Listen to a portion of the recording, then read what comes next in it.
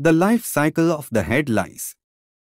The lice life cycle of is the period of time between the moment head lice eggs are laid by the female until the moment head lice die.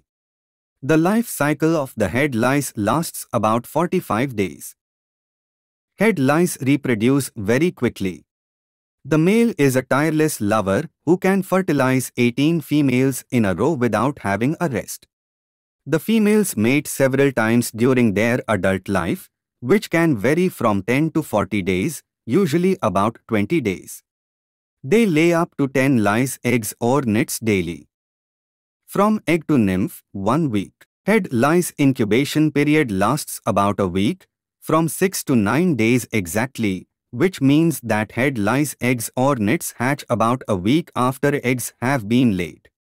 Head lice eggs hatch to release a nymph. The latter resembles the adult lice, but of course it is smaller and it measures about 1 millimeter, the size of a pinhead.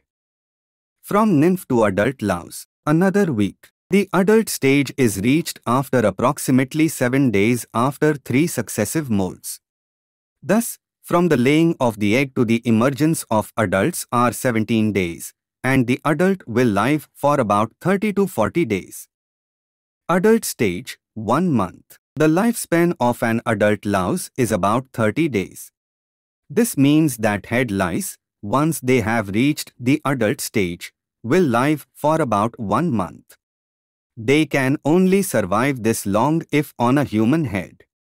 They need to feed on human blood several times a day. They will die.